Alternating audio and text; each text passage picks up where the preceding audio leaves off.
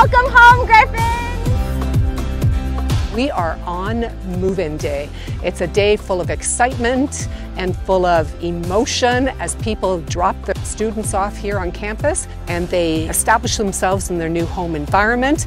Parents go off and our students start to get oriented to this wonderful campus. Right now, over 5,000 students are moving in over the course of three days. There's a ton of energy, there's a ton of excitement. Everyone is just so happy and like ready to welcome everybody coming in. It's just, it's amazing. We've got student leaders here on campus that are going to help introduce people to the university environment. So we've got residence life staff, we've got peer helpers, we've got professional staff, we've got faculty and others that are here to help people move in.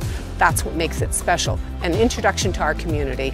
My role is to essentially help folks move in and feel welcome. This is going to be their home for the next eight months. This isn't just about meeting people that you're going to know for the year. It's about meeting people that are going to be your lifelong friends, a second family, if you will. And my job is to help start that journey. Move-in is really important because right away they're being made to feel welcome, to being made a part of our community, to realize that everybody cares here for each other and we want to make the best experience possible for our students.